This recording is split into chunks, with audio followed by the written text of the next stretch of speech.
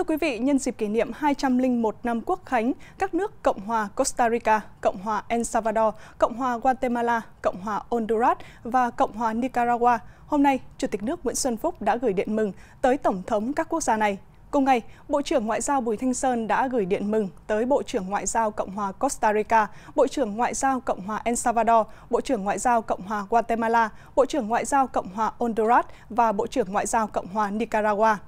Cũng trong ngày hôm nay, Chủ tịch nước Nguyễn Xuân Phúc đã gửi điện mừng nhân dịp ngài Joao Manuel gonzález Lorenzo nhậm chức Tổng thống nước Cộng hòa Angola và ngài William Ruto nhậm chức Tổng thống nước Cộng hòa Kenya.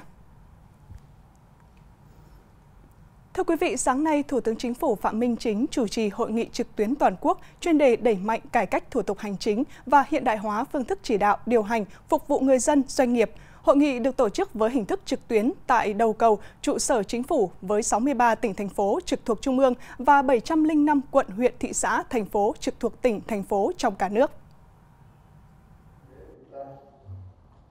Với mục tiêu thực hiện thắng lợi các nghị quyết của Đảng và chiến lược phát triển kinh tế xã hội 10 năm giai đoạn 2021-2030, Chính phủ, Thủ tướng Chính phủ đã ban hành và chỉ đạo quyết liệt các bộ ngành địa phương thực hiện có hiệu quả các chương trình chiến lược quan trọng quốc gia về cải cách thủ tục hành chính và hiện đại hóa phương thức chỉ đạo điều hành.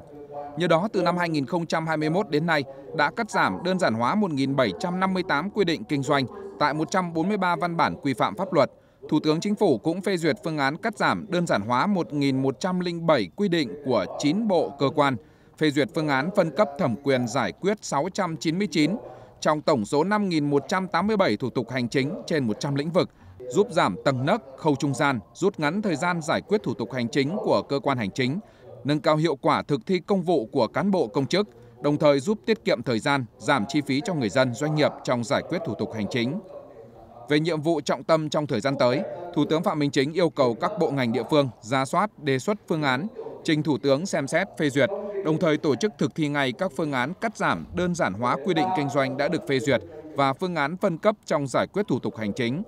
Thủ tướng cũng yêu cầu thực hiện hợp nhất cổng dịch vụ công với hệ thống thông tin một cửa điện tử cấp bộ, cấp tỉnh thành hệ thống thông tin giải quyết thủ tục hành chính tập trung duy nhất, hoàn thiện nâng cao chất lượng cung cấp dịch vụ công trực tuyến, bảo đảm thân thiện với người dùng, đẩy mạnh kết nối, tích hợp, chia sẻ thông tin, dữ liệu giữa các hệ thống thông tin, cơ sở dữ liệu quốc gia, chuyên ngành với cổng dịch vụ công quốc gia và hệ thống thông tin giải quyết thủ tục hành chính cấp bộ, cấp tỉnh. Chiều nay, sau 4 ngày làm việc tập trung nghiêm túc trách nhiệm cao, phiên họp thứ 15 của Ủy ban Thường vụ Quốc hội chính thức bế mạc, hoàn thành các nội dung chương trình đề ra. Tại phiên họp thứ 15 của Ủy ban Thường vụ Quốc hội, các đại biểu đã thảo luận sôi nổi cho ý kiến vào các nội dung sẽ thảo luận tại kỳ họp thứ tư, như việc thực hiện các nghị quyết của Ủy ban Thường vụ Quốc hội về việc sắp xếp các đơn vị hành chính cấp huyện, cấp xã trong giai đoạn 2019-2021, cho ý kiến vào các báo cáo về công tác tiếp công dân, giải quyết khiếu nại tố cáo của công dân năm 2022, công tác phòng chống tham nhũng, tình hình tội phạm vi phạm pháp luật và công tác đấu tranh phòng chống tội phạm và vi phạm pháp luật, công tác thi hành án năm 2022 việc thực hiện chính sách pháp luật về thực hành tiết kiệm chống lãng phí giai đoạn 2016-2021 cũng như việc thực hiện pháp luật về tiếp công dân và giải quyết khiếu nại tố cáo từ ngày 1 tháng 7 năm 2016 đến ngày 1 tháng 7 năm 2021. Chủ tịch Quốc hội đề nghị các bên liên quan có tinh thần chủ động, đôn đốc từ sớm từ xa, chuẩn bị tốt cho việc nghiên cứu thảo luận để bảo đảm chất lượng các quyết định, văn bản quy phạm pháp luật đưa ra tại Quốc hội, Chủ tịch Quốc hội bày tỏ tin tưởng với sự chuẩn bị phối hợp chặt chẽ giữa chính phủ và Quốc hội, giữa các cơ quan của Quốc hội với các cơ quan Tòa án Nhân dân tối cao, Viện Kiểm sát Nhân dân tối cao, Bộ Công an, sự nhất trí đồng lòng của người dân, kỳ họp thứ tư sẽ có chất lượng cao nhất, thành công, đáp ứng yêu cầu của nhân dân và cử tri cả nước. Chiều nay, Ban chỉ đạo Trung ương làm việc với đại diện đội ngũ doanh nhân, cộng đồng doanh nghiệp về tình hình thực hiện nghị quyết số 09 của Bộ Chính trị khóa 11, đồng chí Trần Tuấn Anh, Ủy viên Trung ương Đảng, trưởng Ban Kinh tế Trung ương, trưởng Ban chỉ đạo chủ trì hội nghị.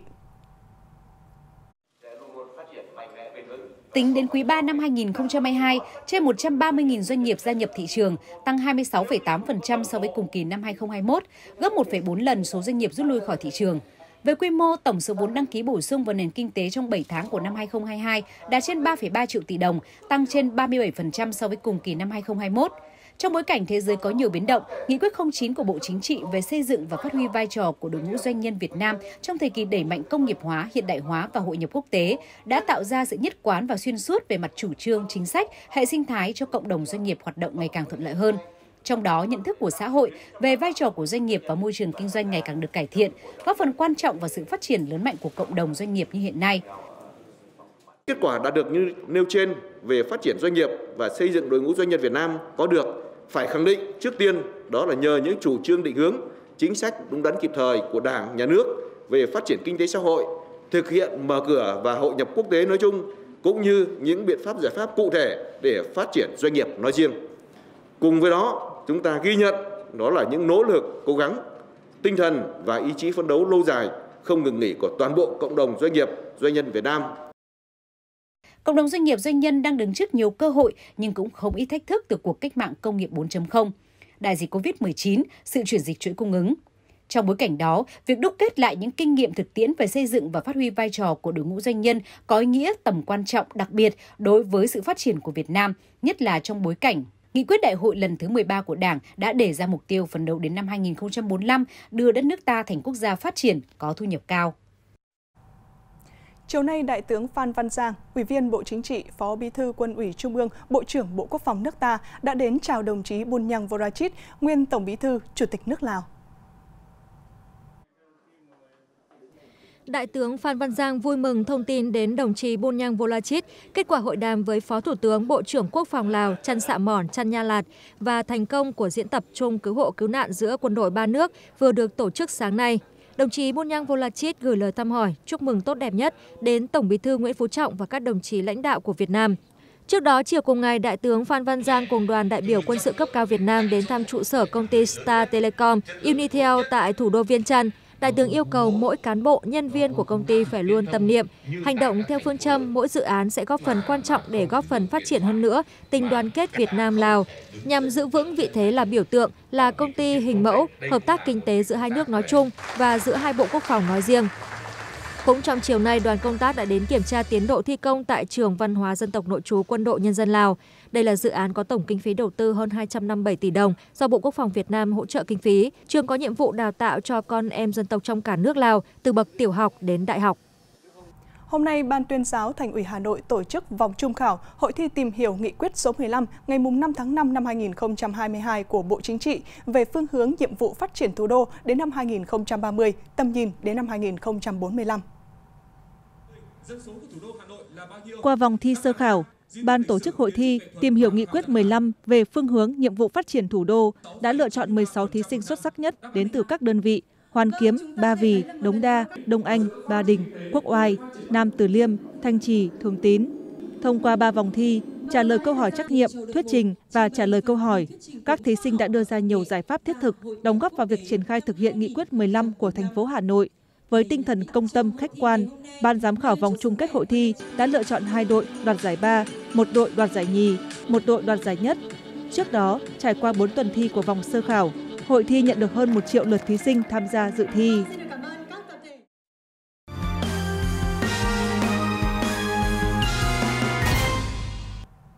Thưa quý vị, từ sáng nay ngày 15 tháng 9, nhiều trường đại học trên cả nước bắt đầu công bố điểm chuẩn theo phương thức xét điểm thi tốt nghiệp hoặc có sử dụng kết quả thi này trong xét tuyển. Trong chiều nay, nhiều trường đại học ở nhóm xét tuyển phía Bắc cũng công bố điểm chuẩn chính thức cho thí sinh.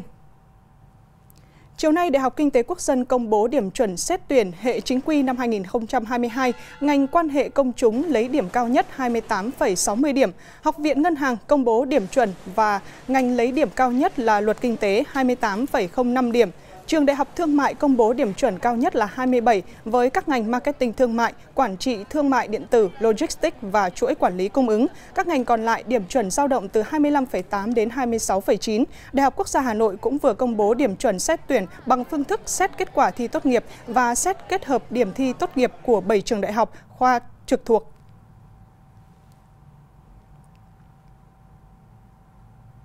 Thưa quý vị, hôm nay Bộ Giáo dục và Đào tạo đã có văn bản về việc tiếp tục triển khai công tác tuyển sinh đại học, tuyển sinh cao đẳng ngành giáo dục mầm non năm 2022. Bộ Giáo dục và Đào tạo yêu cầu các trường nghiêm túc thực hiện quy chế tuyển sinh, các văn bản hướng dẫn của Bộ Giáo dục và Đào tạo.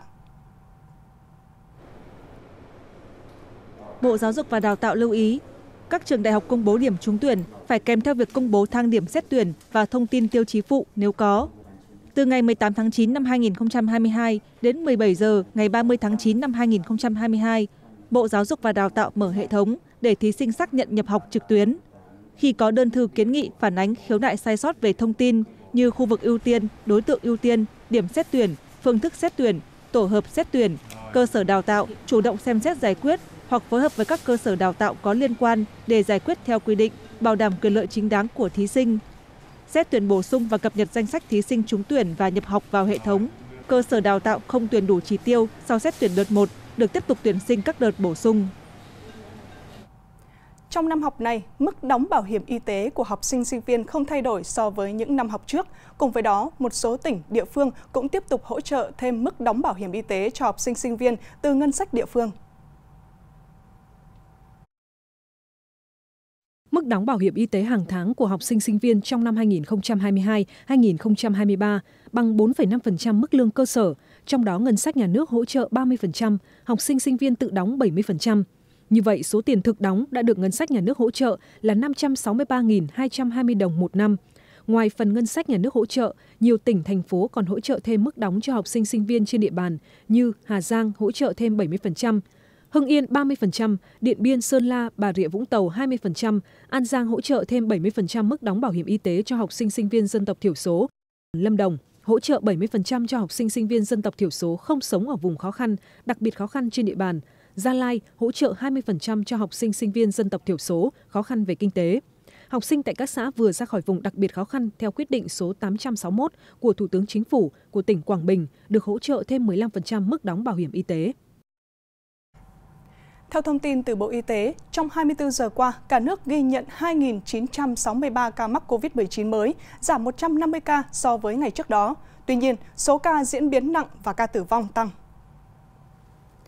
Trong ngày cũng có 55.181 bệnh nhân được công bố khỏi bệnh. Tuy vậy, số bệnh nhân COVID-19 diễn biến nặng phải thở oxy đã tăng vọt từ 125 ca vào chiều qua lên 184 ca vào chiều nay ngày 15 tháng 9. Đặc biệt, trong ngày ghi nhận 5 ca tử vong. Như vậy, trung bình số ca tử vong ghi nhận trong 7 ngày qua là 2 ca một ngày. Số ca tử vong đang có chiều hướng tăng khá rõ rệt. Thưa quý vị, mới đây ubnd tỉnh Quảng Bình có buổi làm việc với nhóm nghiên cứu của Trường Đại học Thủy lợi để trao đổi thảo luận báo cáo kết quả nghiêm nhiệm vụ, đánh giá nguyên nhân gây ngập lụt kéo dài do lũ và định hướng giải pháp thoát lũ cho vùng Lệ Thủy và Quảng Ninh. Xuất phát từ tình hình lũ lụt thường xuyên xảy ra trong nhiều năm trên địa bàn hai huyện Lệ Thủy và Quảng Ninh, đặc biệt sau lũ lịch sử tháng 10 năm 2020 gây ra nhiều thiệt hại nghiêm trọng, Quảng Bình đã đề xuất Bộ Nông nghiệp và Phát triển Nông thôn hỗ trợ tìm giải pháp để thoát lũ hiệu quả, giúp người dân địa phương chung sống an toàn, bền vững với biến đổi khí hậu đang diễn ra ngày càng phức tạp. Nhóm nghiên cứu trường Đại học Thủy lợi đã đề xuất hai nhóm giải pháp, gồm nhóm giải pháp tăng khả năng thoát lũ thông qua nạo vét, nâng cao khả năng thoát lũ cửa Nhật Lệ, cải tạo hành lang thoát lũ, mở cửa thoát lũ mới ra biển. Đã có nhiều ý kiến thảo luận, phân tích về cơ sở khoa học, tính phù hợp, khả thi của từng phương án, nhiều đại biểu cho rằng cần bổ sung thêm các dữ liệu có liên quan để chứng minh tính khả thi của đề tài, xác định rõ chiến lược thoát lũ của vùng Lệ Thủy và Quảng Ninh ở mức độ nào, đánh giá tác động môi trường khi thực hiện các phương án cụ thể.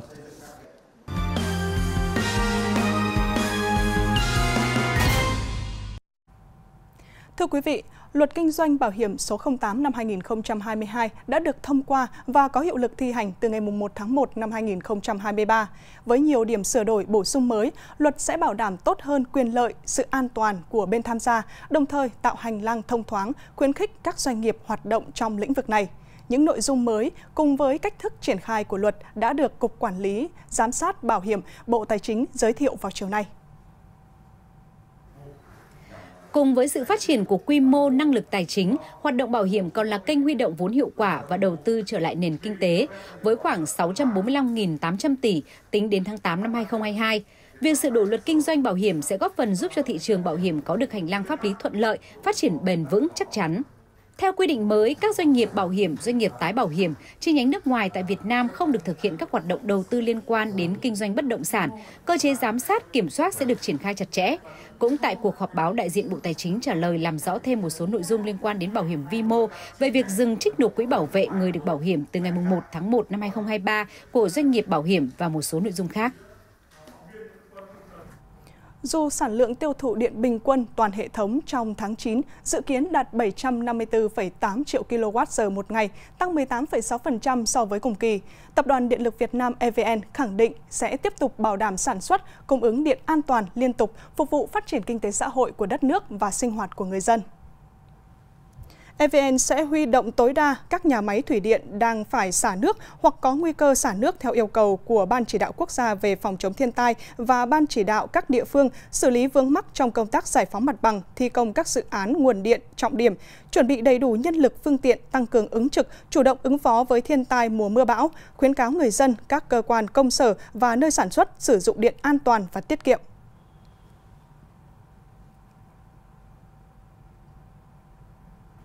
Sau một thời gian dài sụt giá do dịch bệnh COVID-19, hiện giá gạo xuất khẩu của nước ta tăng lên so với tháng trước. Giá gạo nội địa cũng từng bước tăng lên từ 100 đến 200 đồng một kg.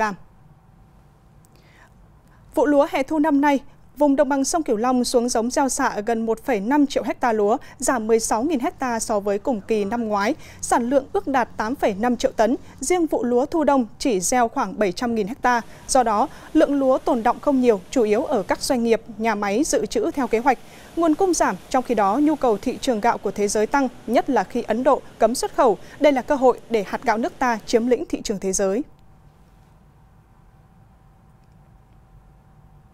Thưa quý vị, mặc dù chuyến hàng sầu riêng đầu tiên chưa được xuất khẩu chính ngạch sang Trung Quốc, Tuy nhiên, hiện nay một số doanh nghiệp xuất khẩu sầu riêng lớn ở Đắk Lắc bị giả mạo mã vùng trồng, cơ sở đóng gói. Điều này đang gây bức xúc và lo lắng cho các doanh nghiệp.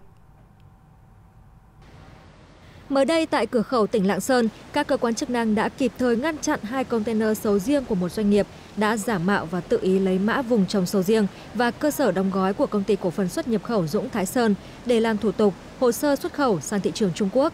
Việc làm này đã gây bức xúc đối với doanh nghiệp và các chủ vườn được cấp mã vùng trồng. Về cái việc mà vừa rồi nó xảy ra ở cửa khẩu là có một số các doanh nghiệp đã không xin phép và lấy ờ, trộm mã của chúng tôi nhất là ở đây cái việc đây là ảnh hưởng trực tiếp đến và trực tiếp đến các bà con mà đã hợp tác xã và các cái, cái người nông dân trồng ra trái sầu riêng vậy. chứ còn người nông dân mình được à, như tụi tôi thì cũng rất là buồn. Vì là thấy ờ, tụi tôi được cấp mà vông đúng không? Mà giờ anh khả anh mượn lời dùng vào cái mà vông để mà xuất khẩu của người ta. Thì cái đó cực kỳ là buồn cái đó là phải nhờ. Nếu đứng góc độ những người nông dân tụi tôi là chỉ có nhờ công ty phải nhờ chính quyền vào cuộc sau khi sự việc xảy ra, công ty cổ phần xuất nhập khẩu Dũng Thái Sơn đã có văn bản gửi Cục Bảo vệ Thực vật, Bộ Nông nghiệp và Phát triển Nông thôn, Tri Cục Bảo vệ Thực vật tỉnh Đắk Lắc đề nghị hỗ trợ và có những chế tài đối với những tổ chức cá nhân đã giả mạo và đánh cắp mã vùng trồng và cơ sở đóng gói sầu riêng. Đồng thời đơn vị này cũng khẳng định trong thời gian tới, công ty sẽ trực tiếp xuất khẩu chứ không ủy quyền cho bên thứ hai.